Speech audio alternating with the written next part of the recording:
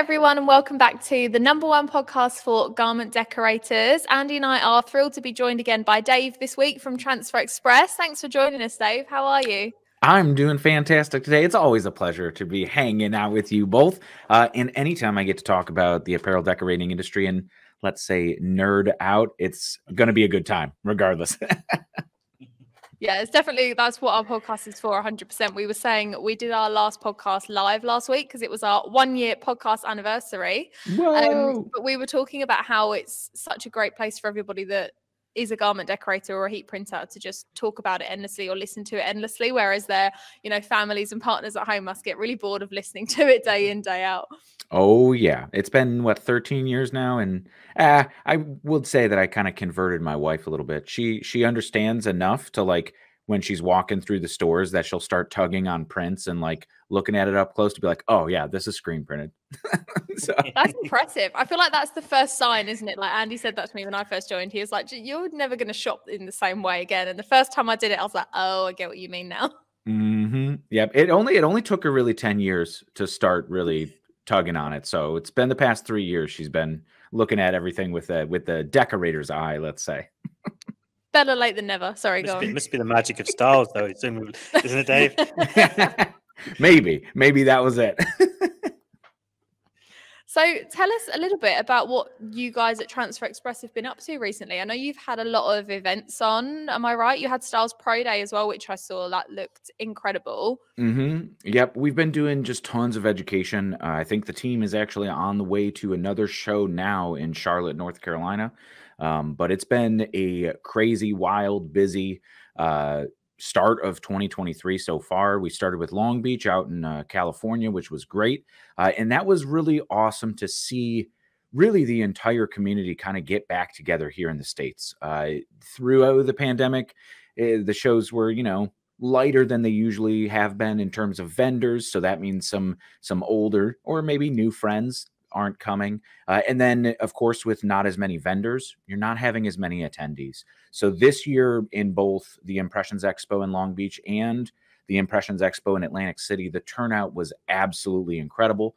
Uh, hearing from event organizers that we're back to exceeding the pre pandemic levels for attendees uh, is just fantastic. So, seeing those decorators come back out, but a lot of it is, I want to say, decorators that started during the pandemic that are now really looking to take it to the next level. Uh, so being in the position to really help them grow their business from coming from a hobby or a side hustle and then like growing it up. So I think education has been absolutely paramount at a lot of these conferences and events that's been going on um, from the graphics pro expo like i mentioned this this week whenever we as we're recording this um, but yeah we've been been on the road have some more things coming up to go and uh, yeah, we we look towards the end of the year is going to just be it's gonna I mean it's going to get here before we know it. But the pro day as part of that education is absolutely just I mean it's awesome to be a part of it and be able to be an educator and share my experiences because that's a lot what I, what I tell people with any industry and especially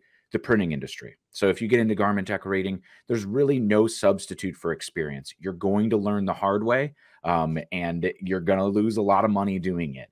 And that's why these sessions, these education sessions, especially like Stahls' Pro Day, are going to have people who have been in the industry, who have been in similar shoes to you, uh, to help you avoid those costly mistakes. So you're talking about being able to print more efficiently, or you're talking about uh, increasing your profits with not having, you know, to to research and development yourself listening to people who have been able to do it and then taking those same concepts applying them to your business from you know strategies about diversifying your products all the way down to just correct placement on a shirt you know where that's going to help you print more efficiently your customers are going to be wowed and all of that entire cycle. So that's what I really love about Pro Day and being a part of Pro Day because it's uh, Josh, Jenna, um, and Kelly, all from Stahls', uh, and myself included. And we talk about it's not just about the product, it's not about heat printing, it's really about apparel decorators' businesses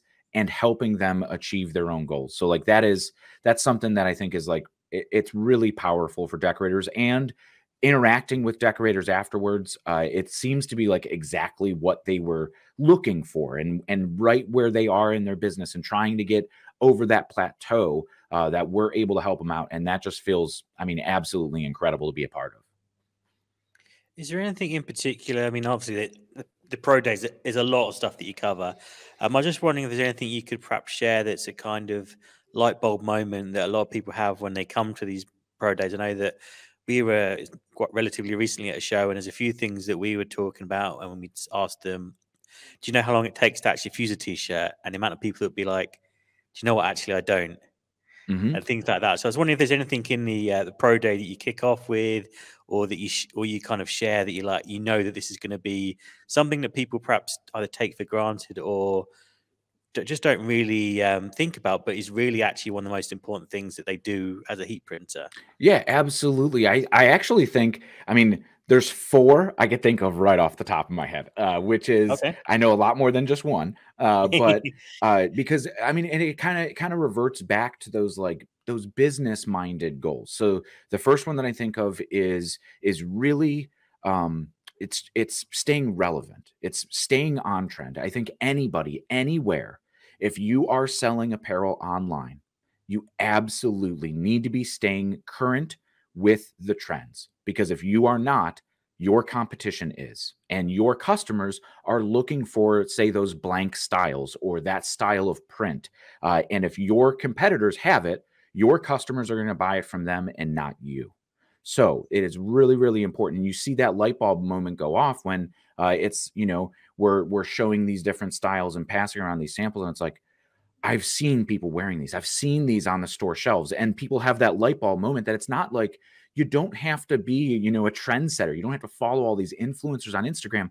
You just need to keep your eyes open when you go to the store, when you're walking around, when you're going to, uh, you know, doing anything. You're going to a concert or something.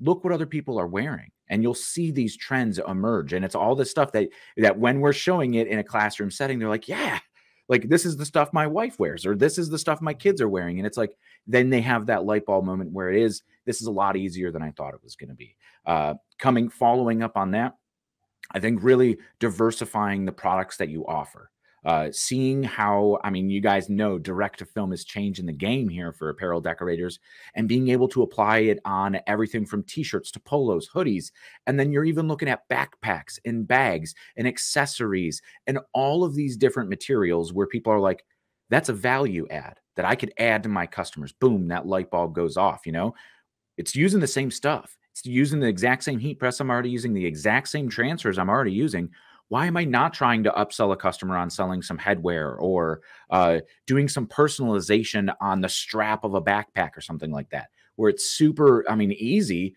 but it's all value adds to add more profit uh, onto their business. Then when we're talking about profit, I mean, that's when you start to really look into because we do cover a, a, quite a section on actually uh, looking into the profit calculations and efficiency of how long it takes. So, one of the most fun things uh, that we do uh, during uh, the most recent one we just did in New Jersey um, was uh, Josh Ellsworth and myself raced each other essentially with a real world job. We put together the need for a, a bicycle shop uh, that needed some t shirts, needed some headwear.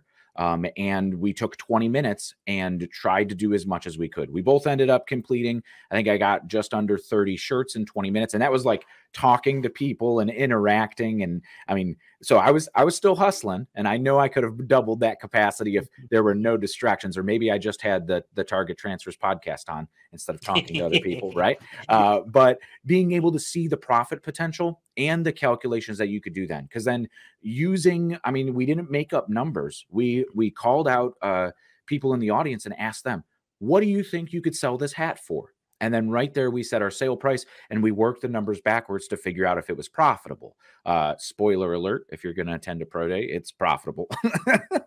but uh, essentially, there are, uh, you know, there's those calculations that you just need to be thinking about as you go through these orders. And it's okay to say no. Uh, and that's, I think, a light bulb moment for some people when it's a job that doesn't make sense for their business or it's stressing them out or, um, you know, it's, it's pushing their more profitable work to the side uh, it's it's i mean it, it takes some experience to be able to identify those and it does i'm going to say take some guts too because that was one of the biggest things that i know in my young professional career i had a really hard problem saying no And so, like, being able to say no, it was so uh, freeing and validating that, like, no, because I'm going to waste my time or money on this project. So seeing that that kind of click with people. And as we talk about these businesses looking to get over this hump or like reach the top of this plateau so that they could take their side hustle and maybe they just quit their full-time job or like they're looking to add an employee, they're looking to standardize stuff. All of these efficiency calculations and impressions per hour, or how many shirts, you know, uh, how long does it actually take you to print a shirt? Like or hat or whatever your business is is going for like trying to figure that out managing your profits and being able to really take your business to the next level with all of those tips that we share for even increasing efficiency. So I mean like it is it is packed and loaded full of uh these light bulb moments like like you mentioned that just really help people I think take their business to the next level. Excellent. I think that the, the point you're making there about relevancy, I think, is a really important one because I think there's a there's a definite mindset to that. Is like you say, people sometimes like, oh yeah, that's not for me. That's all. That's what the younguns were. But like you say, this isn't re- relevant. Can just be a marginal step, just mm-hmm. a slight color to this exact same products that you're already offering anyway.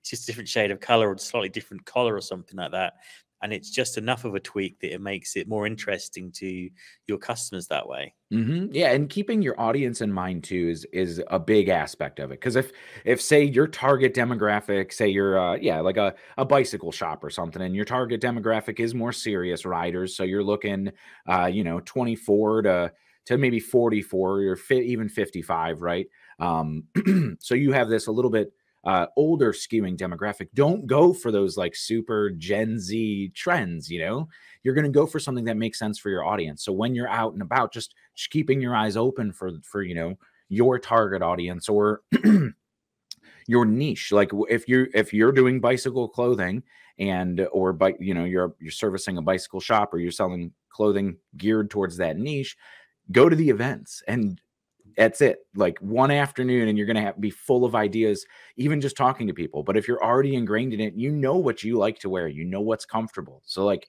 you don't you never have to look far um and and just if you're out in the world just stay you know keep your mind tuned into it otherwise it just becomes you know the billboards that just fly by um, that maybe are a message that's that's right for you but you're just not paying attention so just being able to pay attention uh, and then yeah just just hone into your audience and the information's there. Are there any particular trends off the top of your head that you've seen recently or you've seen at the shows you've been attending that people have been like yes i need to include that in my business any i don't know whether it's like a color or a garment style or maybe a font in a transfer anything like that that people might consider moving forwards there are there are a lot um and there it's kind of it, i think we're right in this like nice uh area right now of kind of the the changing of the trends where like we see this start to evolve going into summer and like then even the fall styles i'm sure will will change even more. Uh but but the one thing that we saw that was really really uh kind of prevalent uh comfort colors and like the oversized candy pastel tees. Uh, not they're not not as pastel colors as they were maybe last year, but moving a little bit more bolder and vibrant. You see those in the Port and Company line and the Comfort Colors line with their new colors, like the banana one or whatever, is like a, a nice vibrant yellow. But that style of like an oversized T-shirt, very very popular. Uh, the one design trend which I'm kind of like secretly loving is this like uh I call it like a retro western, but it involves like a, it's usually like a limited color print, like one or two kind of earth tones. Really fits in well with like the large, uh, the oversized kind of styled tees, and then it kind of evokes some like '90s feel, like the the old Nirvana tees or like the grunge tees, or it'll even like spin the other way and be like kind of more contemporary, but like country western vibes like cowboy hats cactuses uh you know like longhorn skull skeletons but it's just that aesthetic uh, that really kind of is popular right now through the spring uh, anything with checkerboard. So it makes it feel very 90s like the birth of ska like but a lot of like the band inspired stuff you see um and then even i would say like tie dye necessarily not hanging around like it did last year, two years ago, but the crystal dye. So like the two tone or like off dye where it's like slightly bleached in a lighter color, but it's more of like a tone on tone dye that those are uh, retaining their popularity as well. Of course, in the other market segments, the uh, you know if you're dealing with any athletics, not too big of a change there. It seems like everybody's shifting to like these full color logos and gradients and stuff too, which makes it great for direct to film. Uh, and then, of course, performance wear is uh, very similar styles to what we've seen, but a lot of uh, like crop tops even working their way out of performance wear and going more into the mainstream just as like the the high-waisted jeans have become much more prevalent. So the crop tops you can't think of them like the the you know the 1999 2000s like Britney Spears crop tops. Um they're much more like they don't show any midriff. They're just cut higher uh, to match the higher waistline that you see people wearing these days I think the um yeah the band tee thing you were talking about we've 100% seen over here. It might just be my search history on whatever I'm mm. shopping for, but I've 100% seen that. The checker thing I absolutely love. I've mm-hmm. been I'm just obsessed with it. The, I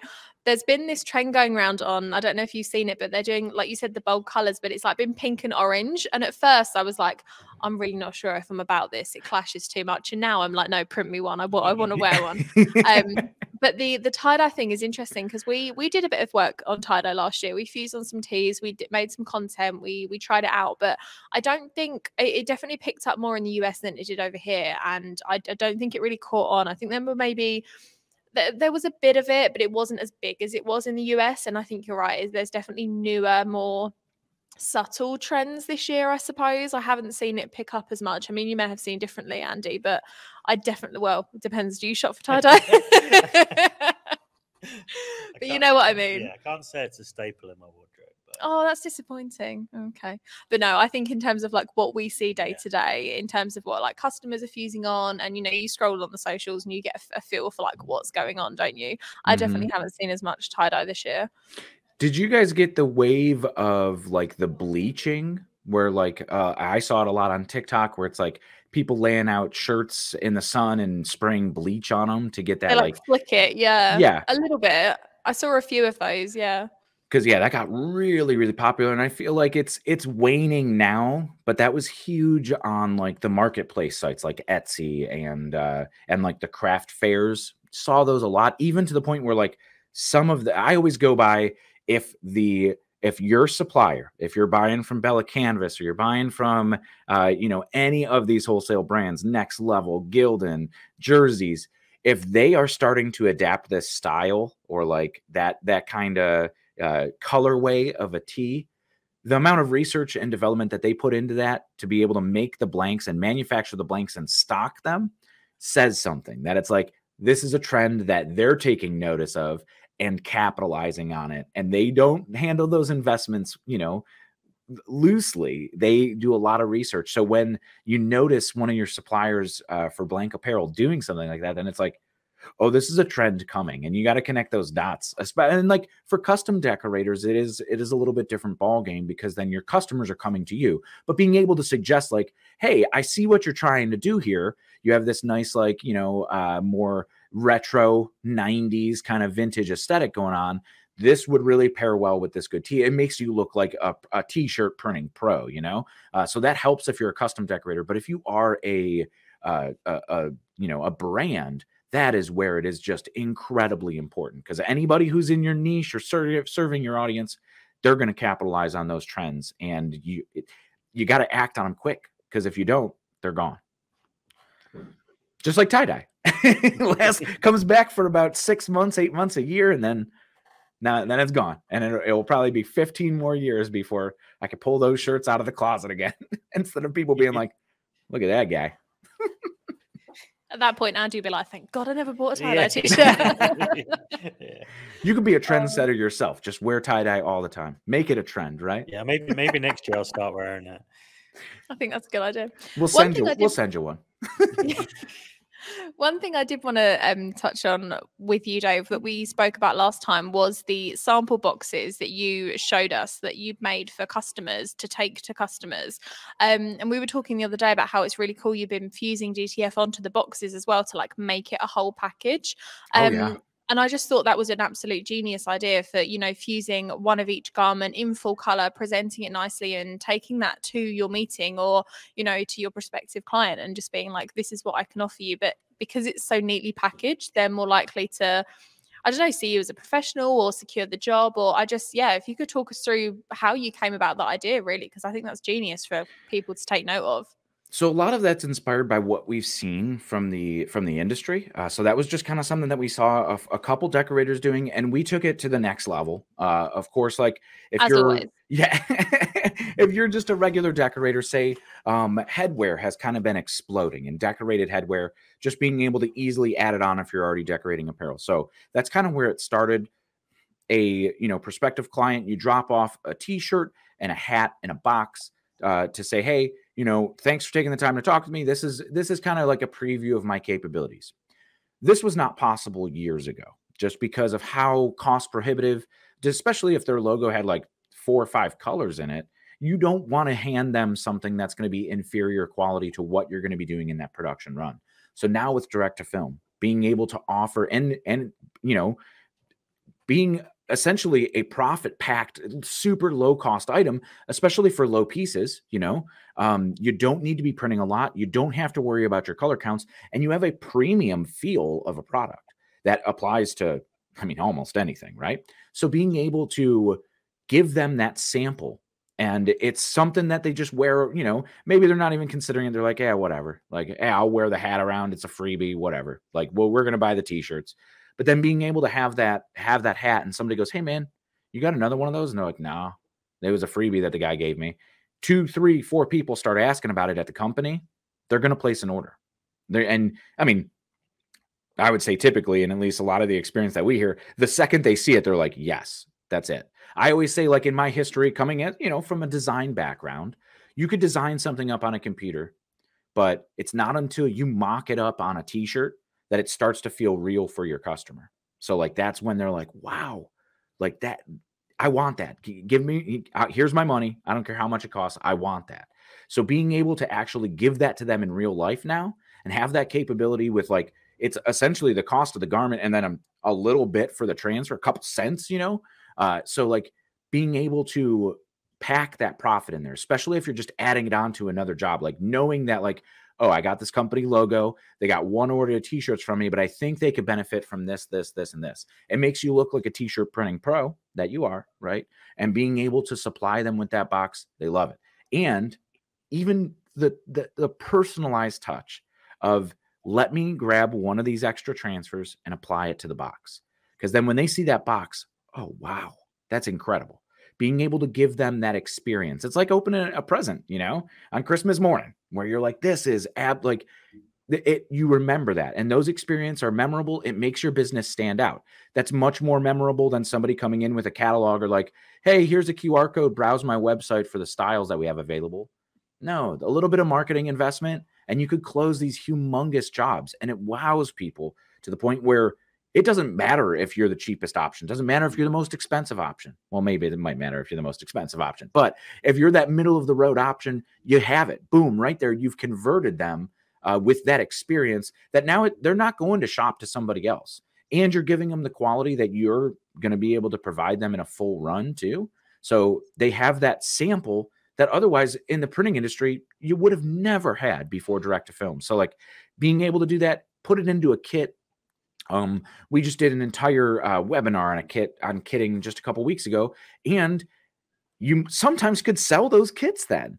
If it's a company onboarding now with still so much remote work going on, you want to give that sense of pride. So there are markets for this. Uh, new hires at businesses when they're onboarding, whether in person or not. Uh, when you look at schools and uh, orientation days, oh, hey, yeah, you're going to want to get outfitted you're adding value by bundling all of this together where like it looks like a deal to the customer but it's you moving extra pieces as a decorator. So that's putting more profit in your pocket too being able to just push these kits out there. And yeah it's a little bit of handwork to it but priced accordingly if it's 50 bucks or something for a hat a t-shirt a hoodie that's a that's a steal of a deal when you're looking at like buying a, a decorated hoodie retail price for you know 35 40 bucks. Like you're getting so much more in that. And as a decorator, then you're just moving more volume. It's filling the capacity of your shop, and you're able to still profit on those the same as if you were selling them just individually. So uh, it really is a win win for decorators. And with the the profitability and the efficiency of using one product in like ultra color max or even screen printed transfers will apply to cardboard absolutely fine like it's just an awesome awesome potential uh, not only to get new sales but to to just load those profits in for any t-shirt business that's actually a genius idea. I hadn't thought of it. And it's so simple now that you say it, but rather than just using it as a sample box, offer it as a product. Like I know we talk mm-hmm. about bundling and packaging things up, but in that way, that's that is such a good idea. Mm-hmm. Yep. We just yeah, we just did more of them and I did uh, it was for again a bike shop. I don't know. All of my examples now are for bike shops, but essentially included a hat, a notebook that was branded Ultra Color Max, just uh, on a notebook that I bought off Amazon for like two or three bucks for a two pack of them. Uh, and then you put a, a, little bit of branding on it, and immediately now it's like you, your customers don't know that you have these capabilities unless you show them. And showing them just takes a little bit of your time and maybe a couple bucks or something.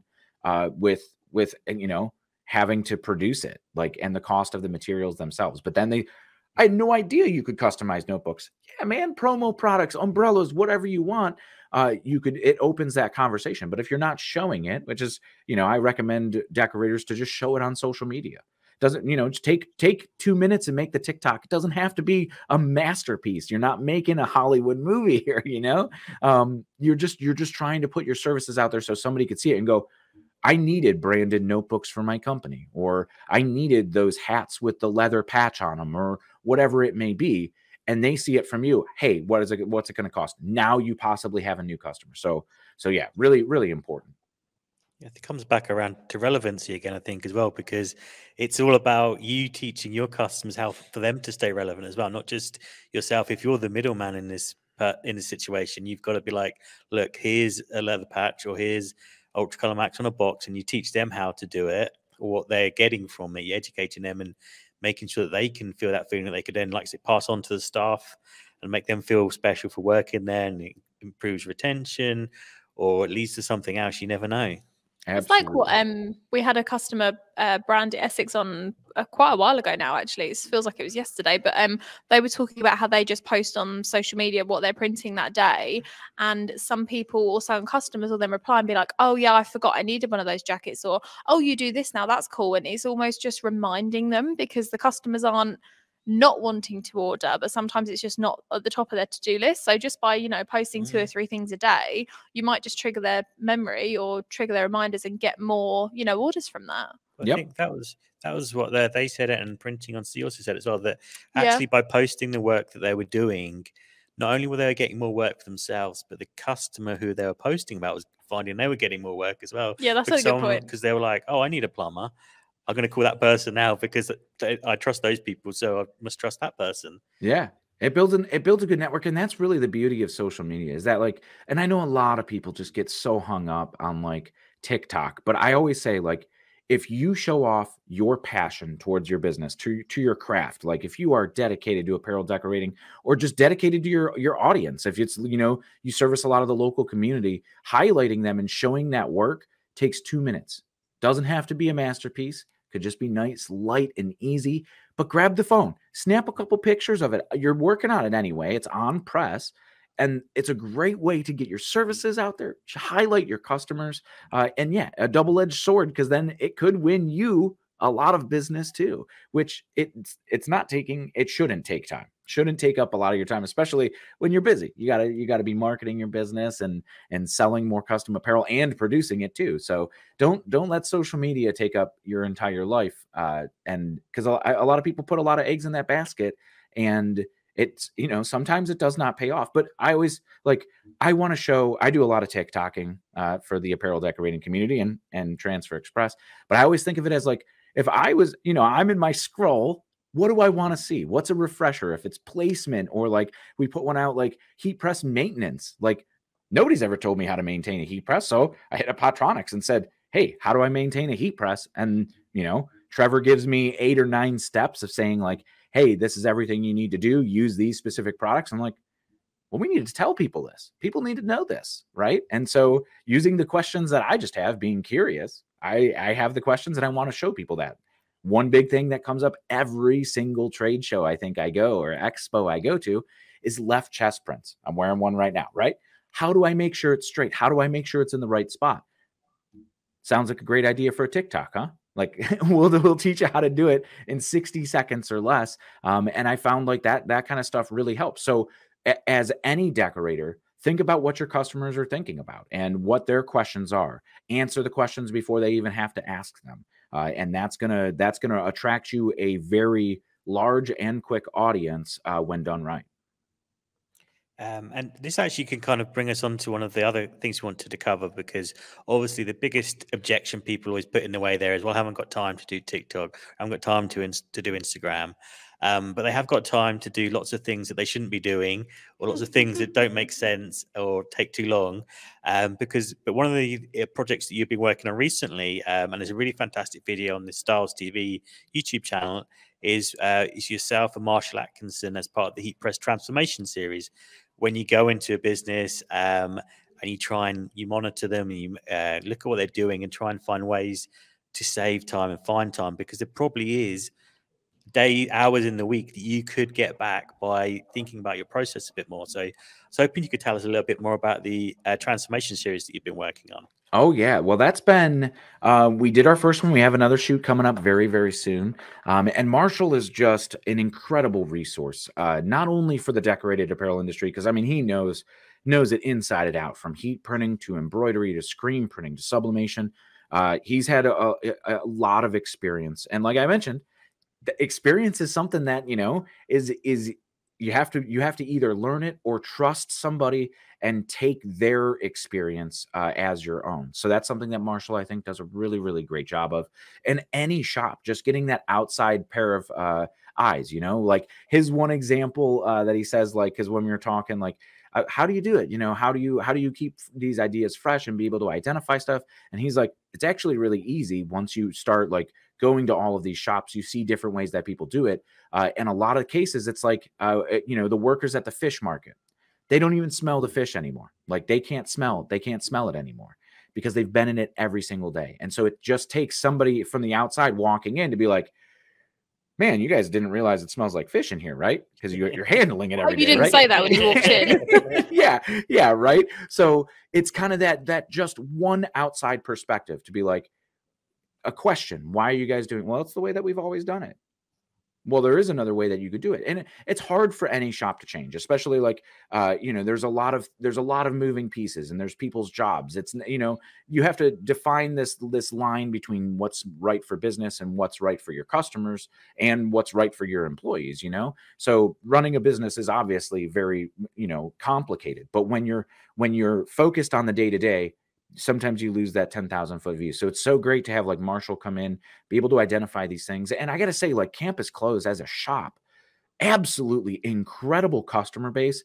And the people working there were so open to new ideas. They were so welcoming uh, to come in and just kind of, hey, we hung we hung out for two days shooting the video, uh, but you could see that you know they've they've built a wonderfully successful company on uh, on their employees and the relationships that they've built with their customers. So like seeing that and how they do it and how they leverage a heat printing department. Because essentially, if we would have visited that shop five six years ago, it would have been a vastly different experience, probably with one or two heat presses being used for names and numbers on the backs of jerseys.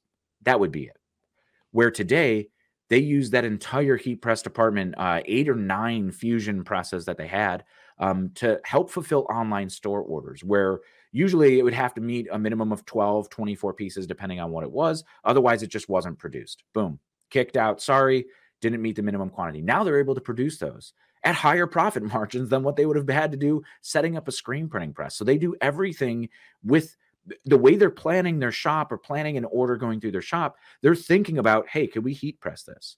And a lot of that is with the capabilities of direct to film printing. Now, they were using in that video, if you watch the heat press transformation on Stahls' TV YouTube channel, you will see uh, them actually printing a lot of the screen printed transfers as well, just because they use it to supplement the screen printing. Yes, double lined, I've been here Now, this was probably five, six years ago working at an old print shop, but double lined mesh shorts. I don't know why. We printed a lot for like heavy metal bands and they loved mesh shorts, right? But they wanted like two, three, four colors on them instead of just a one color print. Well, that's impossible. On on an automatic carousel printing press, those those the double linings shift. So when you're registering two, three colors, even one color sometimes could get as they move around, they start to shift. So then your print's crooked now. It's not easy to keep them aligned and straight and centered. Boom, kick it over to the heat press department. So doing a lot of athletic wear and a lot of uh, colleges, universities, the uh, athletic departments that they were they were dealing with, a lot of it's warm up gear, not just game worn jerseys, but the warm up gear, the locker room gear, the spirit wear, the the fan gear going to the to the uh, fans, where they they need this specialty application that is hard to do on the equipment that they have. So how easy is it to just add in? Oh yeah, we could print a order of 300 shirts or 300 shorts that I think you see in that video. Um, the yellow, like it's a, I think it's a yellow bird logo going on black shorts. Uh, but I think they did like 300 of those between two operators in like an hour or something. Like it's just absolutely incredible the profitability that they bring to the shop, freeing up the bigger equipment for the large profitable runs for what those machines are built for. So you're not setting it up. You're not setting up a, a you know a 12 station carousel press that you see in the background almost the entire time. That there's people working over there and there's jobs going to it. Uh, but the shelf for the heat press department is just stacked up super high. And then Marshall comes in and brings in a lot of the insights that he's seen uh, with other companies that are using say direct to film transfers for online store fulfillment. Hey, we have this system where we think keep things clean, neat, and tidy. And a lot of it is listening then too, because uh, uh, almost everybody that we talked to identified the need for a larger shop. They just don't have the space. They're they're growing and they need to keep adding equipment. And like when it gets to be busy season, like it is probably right now, that boxes are stacked up high. So what's a better way to organize this and get things? Maybe you don't need more space. You don't need to go buy a new building if you could just get work in the shop and out of the shop quicker.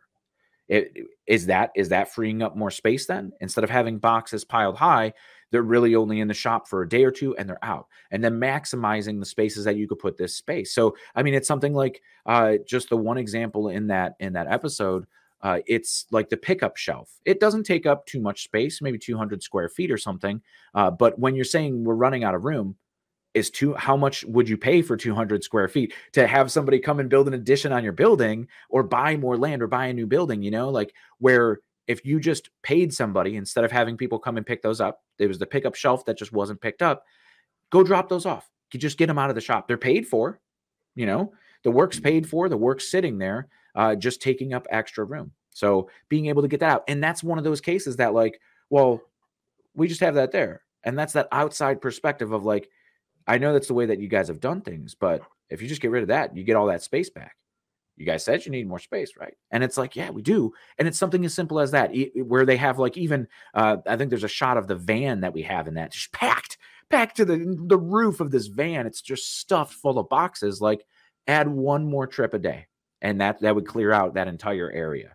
You'd be able to get in that van, deliver to your customers, keep that personalized touch. Yeah, you're paying a little bit for gas and the wages, but what is that space then worth to you you know? And so it's just i mean th- those are outside perspectives that i could never have you know? Like i have 13 years of experience in the industry and a lot of it is printing and, and working with efficiencies or artwork efficiencies specifically because i come from the design background but coming from that operations mindset and being in the industry and doing this for 35 years, Marshall is just an absolutely incredible resource. Um, and I love working with him. Can't wait to get back out. Uh, the next shop I think we're going to go visit is going to be out west. So uh, out in Utah and Salt Lake City. So uh, hopefully everything i think we're lining everything up for it soon and we'll be getting back out there so so yeah keep keep eyes open for another one of those uh those episodes coming so everyone after this, everyone should go and watch that video on Stahls' TV if they haven't already, because it's, it's a really interesting watch, and I think it's it's always good to question process, question efficiency, and I think the most important thing you can do as a business sometimes is even if if you're not the one that's actually printing or fusing, is just to get that ticket when it first comes in and just walk it through the your shop and see what direction it goes. Do you go in a straight line? Do you go in a logical fashion? Um, and then you can start to question everything you do, and that's when you'll start to find time, and you like say find space is a massive one as well because you'll start to be like, oh, that doesn't make sense.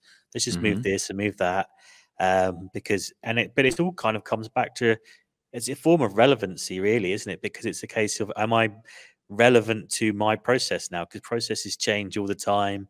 You know, you know, three three and a half years ago, there was no ultra color. There was no option mm-hmm. to have that in your um, shop. So, but lot, so many businesses now are like, well, actually, I just use ultra color for everything because it's it's a better product. It's so much easier. But now you might find this an old piece of equipment like sit, sitting in the corner or sitting in the way that you could just move into a different area or um, sell if you're not using it at all. And then immediately you've got space, you've got efficiency, and you can get more work and you can do it quicker that way. Mm-hmm. And one thing, yeah, one thing that Marshall really kind of said, and it was right before we started filming, and it just set up the entire visit for me, uh, was uh, I said, yeah, well, we'll talk about the efficiency. And he said, I'm not ta- I'm not coming here to talk about efficiency. And I was like, whoa, that's the whole Why reason. Sh- yeah, like we're supposed to show up. He said, I'm coming here to talk about effectiveness. Because you could be efficient, you could be quick at doing something, but it doesn't, it doesn't matter. You could be quick at throwing darts at the dartboard, right? You're efficient. Look at that. Mm-hmm. Now I could get back to my pint, right? Like I don't I they're out of my hands. But did you hit the bullseye, right? So that is being effective, is being efficient at the right targeted uh, area. And I'm sure Marshall in the video talks about it a little bit, a little bit better than I than I summed it up here. But that really, that really, t- you know, I took that with me because like it is so true that a lot of people are like, oh, I'm just busy, I'm busy, I'm busy. Well, are you busy doing the right things? Are you busy doing the most effective? Is it the most effective use of your time? You know, where like it isn't just it, it's the you know it's that whole the whole picture. It's not just the one one way because yeah, if you're measuring efficiency, like yeah, Joe did great. Joe's super efficient. He did, you know, 200 impressions in an hour. Joe's great. All right, well, how many of those need to be reprinted because they're skewed or off center, you know? Where it's like, yeah, you could be efficient, you could be quick, but you got to be effective. So the way that he frames that and doesn't even talk about efficiency, he's talking about effectiveness, uh, is just that one that's that's that light bulb moment you know that like pops up and you're like you know what? That's it. Like and i've applied some of that to my own life. And i've like wow i have more time and well maybe not more time in the day the day still flies by but i feel like i'm i'm making a larger difference and being more effective uh, just being you know aware of it that kind of links back to what you were saying earlier about the social media side of things as well. Like you could spend an hour, two hours, three hours post production in your day, like, you know, once you've shut your shop down or whatever, and take loads of professional pictures and do all of that. But that one shot of, like you said, the t shirt on the press that might take you five seconds to snap might be just as good and that's mm-hmm. so much more effective than spending hours setting up a shot that might not do as well we've done it before i've spent hours making videos put them out online and gone this is going to be great and then the one that i shot in drafts on stories is the one that goes viral and i'm just like Boom. but, but it's, it's true isn't it and that's a similar sort of process i know it's not printing and you know accuracy but a similar sort of thing yeah, and when you mentioned social media, uh, we had, I mean, TikTok is such it's such a wild land. Just because, yeah, you put you you put all this this effort into like, oh yeah, I'm gonna show them exactly how to do this, and and this is gonna be great. I I have this question all the time, and you frame it up and you do everything right, and then like you just post a silly meme or like it's Pedro Pascal eating a sandwich, like this is the middle of the week, like, and boom, just okay, cool. Well, uh, you know, an actor eating a sandwich or uh you sure about that are you sure about that you sure about that like those silly little memes that you could you could pop in there like just outperform everything like and that takes two seconds to do like that's why if you show your passion on social media you show your drive as a creative or an entrepreneur whatever it is it's better than 99% of the garbage that's out there if it's dance videos but I mean, it's all what what you know your viewers are going to relate to, and a lot. And I mean, in some cases, it's those silly memes. But if that's a way to get your product or your name or your brand out there, like it's it takes it doesn't take four hours to do. It takes just a couple minutes, and uh, and if that's an effective use of your time to try to reach a new audience, then uh, I'm I'm not going to stop you. and I'll probably see your TikTok as I'm scrolling at two o'clock in the morning on TikTok. so if you get a like from the Transfer Express page, it's probably me. One thing um, I remember you saying to me when TikTok kind of first became a thing in one of our Zoom meetings that we had before, um, you said TikTok is like the wild west of social media, and that's every, any time I do anything on socials, that's what sticks into my head now. And it's a love hate thing because I can't shift that mindset now of like strategy on TikTok. I'm like, I don't think there is one, but deep down, my social media like gut wants to be like, no, there must be something that you can do behind this. But I, I just hear Dave in my head going, no, you just have to throw it out there and see what happens. it's the wild west. And yeah, there's I would say it's not as not as volatile as it used to be. And that like that TikTok of 2020, 2021, like, and I I was I was just kind of getting started on the platform. Saw my friends get some success and have a few viral posts, but like by viral, I mean, you know, like it's a hundred thousand views. And like for I mean, just my buddy who has 800 followers, like 100,000 views. It's like, whoa, dude, look, that's a lot of views. But it was just the way that it was being picked up and like the with the sounds and like he was just doing silly things and just linking them to sounds that would blow him up. And it's like, yeah, it, it that's cool. But it wasn't until I started seeing like people who are running t-shirt shops or like selling keychains or like just decorated like mugs and tumblers uh, that would essentially like blow up and change their lives overnight. That I was like, whoa, now we're really talking. We're really talking about the power of something real here that's going to translate to something else than just views or clicks or likes or engagement. This is changing people's lives where they were a full time student and now they're making hundreds of thousands of dollars just being able to live their own dream as an entrepreneur, all because one post that they made on TikTok happened to just be shown to 2 million people. And it's like you just bought the, you know, the Super Bowl ad. You bought a, a commercial on TV for 10 minutes in your bedroom on a Sunday afternoon or something like where you're just instead of scrolling like let me just show what I'm doing and seeing that that volatility and just that absolute like just power of one post to change people's lives that's why I'm like yeah it's the wild west and then you see that post do really well. Their channel blows up, a whole bunch of new followers. They have to shut their Etsy store down because they're like, I can't take any new orders. I'm literally going to be producing these 2000 orders now. I was used to doing two orders a week and now I'm doing 2000 in a day.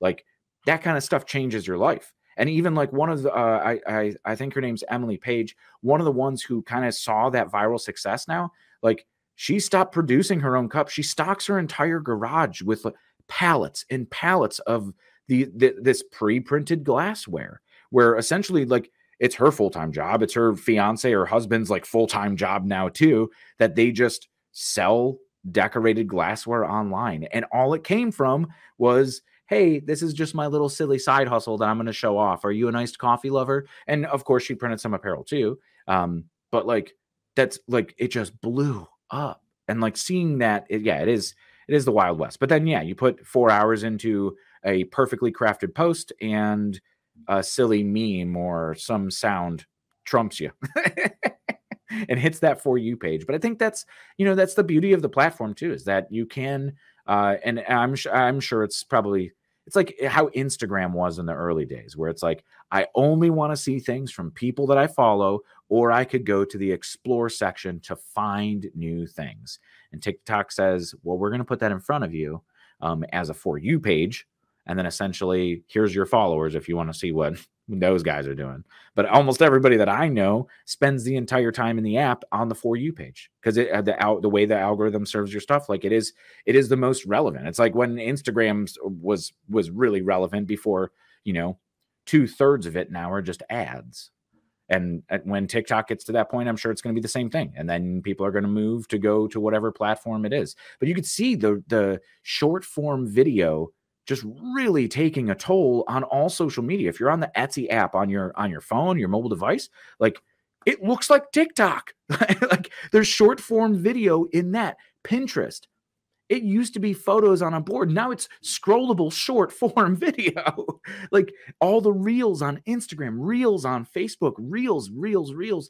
everybody is adapting this format because it is easy to consume. As a content creator myself, though, I worry that like any of this short form video is just zapping our attention spans and what's happening to our you know happening to our children but we're capitalizing on what they say like the average human attention span is like two seconds or something and like so if you if you need to do something grab them quick and tell it to them in a efficient maybe let's say effective manner right? And so that's that's condensing it to the way that we've been fed information for a while. So i think that's why it's just so incredibly popular but i'm i'm a i'm a big believer in the fan of uh of like youtube or youtube university the longer extended content as long as it's relevant. I don't want to hear a whole bunch of filler. And yeah i'll i'll be completely honest. When i watch youtube videos it's almost always at like 1.5 speed even if it's just something like for entertainment. Uh, i want to maximize my time. I want to be the most effective with my viewing right? So being able to uh to speed it up on youtube is great but then you get more information you get those stories that experience you know if i'm looking how to do something and uh you know i learned i learned much more uh from youtube i feel like in the first couple years out of college when you really hit that real world uh, than than you do in college. And so it's like having that resource available to you is, I mean, part of the reason why I just absolutely love giving back on the platform too, because helping other creators just the way that creators helped me um, uh, throughout all my entire life. And I mean, well, I wish YouTube was around when I was a kid. That would have been sweet. I would have learned a lot of stuff. and that's that's a benefit that the younger generation does have, let's say. Yeah. Yeah, I have to say YouTube is one of my favorite platforms now of all time. Like whether I'm here at work or I'm at home or you know anything in between, it's it's my go-to for anything.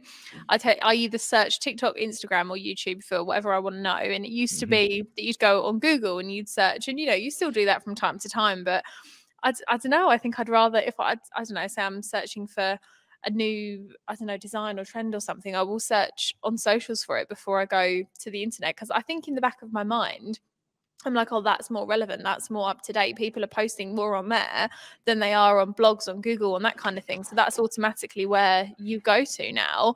Plus, it's more visual, like you said. It is it's moving. It's video. It's it's quick, so it doesn't take up your entire day. But you get more rather than having to scroll through blogs and you know all the pop-up stuff that comes up and i just i get two scrolls down and i'm like yeah no i'm bored now and yep. i click off of something else and mm-hmm. it's yeah you're so right yep oh yeah it's it's it's a different way that we kind of consume media and kind of uh, mad, isn't it? When you think a, about it, a little. when you yeah. really think about I, it, I, I, was trying. I, I started to go there, and then I was like, you know what? Let, let's keep it. Let's keep it light. But that's why, like, the YouTube is the new television. Like, my daughter's five years old, and like, she prefers to watch these bite-sized snippets. And I would say bite-sized, like a lot of the episodes she watches, it's it's all kids programming on YouTube Kids, but like, still, like, it's it's twenty minute content that like that is the preferred method of viewing like as opposed to just watching regular tv i don't know anybody who like still has like tv you know? Like ev- everything is online everything's streaming everything is on demand. And so just being able to as a, as a, a brand or a business just being able you, you, know you don't you're not making a commercial you're, you're just making something that people are going to want to see. And i mean for apparel decorators we have this this cool unique power right? That like it's you know whatever 1% of the population actually knows how things are made. And so being able to show people how things are made like the t-shirt you're wearing you want to see how it was made? How it was printed? Like we have this cool ability to be able to give people this inside look behind the scenes. Same with the heat press transformation seeing that inside look behind the scenes of a larger shop you know? Like this is the stuff that if my business is growing i have to think about and that's why it's it's it's important and that's the way that like i wanted to frame that too that like it's not just about this one business. It is about that that light bulb moment that you could have just watching a 25 minute video you know? Like where it's it's somebody else's shop but hmm we kind of have that problem too. Hmm we're kind of running out of space too. How do they solve it? What's recommended for them to solve it? And so like being able to take have those takeaways away, that's that's one thing as kind of the I don't want I don't know if I'm actually like like a producer or a director or what my you know what you want to officially call it as my role in that and in putting that episode together um or the entire series but like that was what I really wanted to capture um as kind of setting the video up setting Marshall up letting him do his thing um, but then, yeah, really inspiring others. And so that's, yeah, I think that's a great, that's a great wrap up in a very positive way instead of going down the deep dark hole of YouTube. That's and, a whole other and, episode. Yeah, that it is it's positive. Let's stay positive. Let's let's share uh, experiences with each other uh, and lift everybody up. But that's one thing that I will always say about the apparel decorating community that we are officially with the global economy that we have now especially like if you just look at a national scale, like a national economy here in the United States, it's so easy with online sales. We're all actually in competition with each other, right?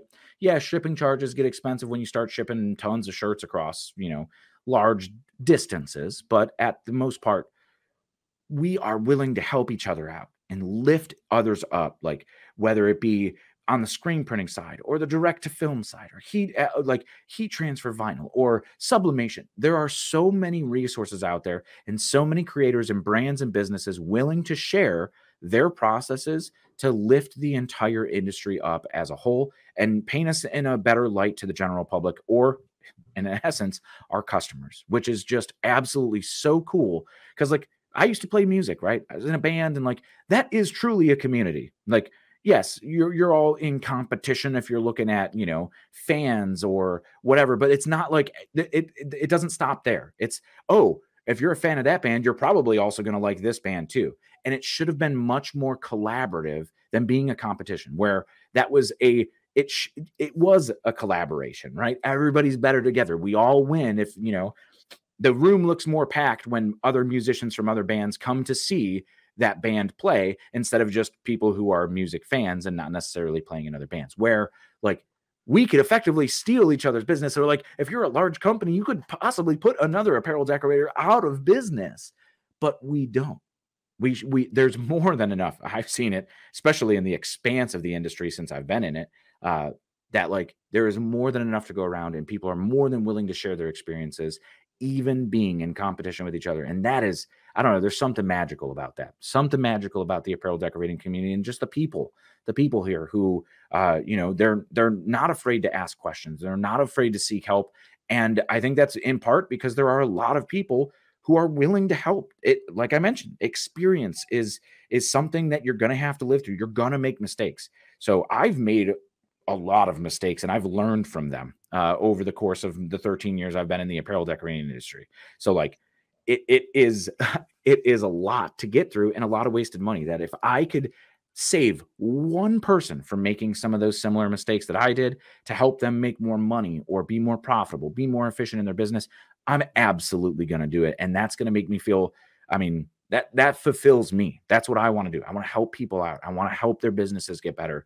Um, you know, regardless of what that looks like. And that's why a lot of the content, even that like I, I focus on, isn't necessarily directed right at heat transfers. It's I want I genuinely want to help your business succeed however you're putting ink to a substrate. And if I could share some of my experiences that help that, then so be it. But platforms like TikTok or YouTube or social media in that aspect uh, allow me allow an avenue, a, a vehicle to be able to do that. That's really cool. What a perfect way to wrap up the episode. You have summarized that so well and in such a positive way. Thank you, Dave. Absolutely. Yeah, I'm, I'm happy to bring my enthusiasm. oh, well, do you have anything to add before no, we wrap I up this week? Just to make just to say again, go and check out that video that Dave and yes, Marshall Atkinson did on the Stahls' TV channel. Um, I'd encourage you all to go and check out the Transfer Express uh, social channels uh, so you can see more of the great stuff that Dave and the team there are putting out. Dave's some, TikToking. There's always some really uh, fantastic videos out there for you to learn from. Brilliant. And yeah, that's it for this week's episode. Thank you so much to everyone who's listening. I hope you enjoyed. I hope you learned something that you can take away and apply to your decoration business. If you have, leave us a comment. Um, and yeah, we'll be back next week with another episode.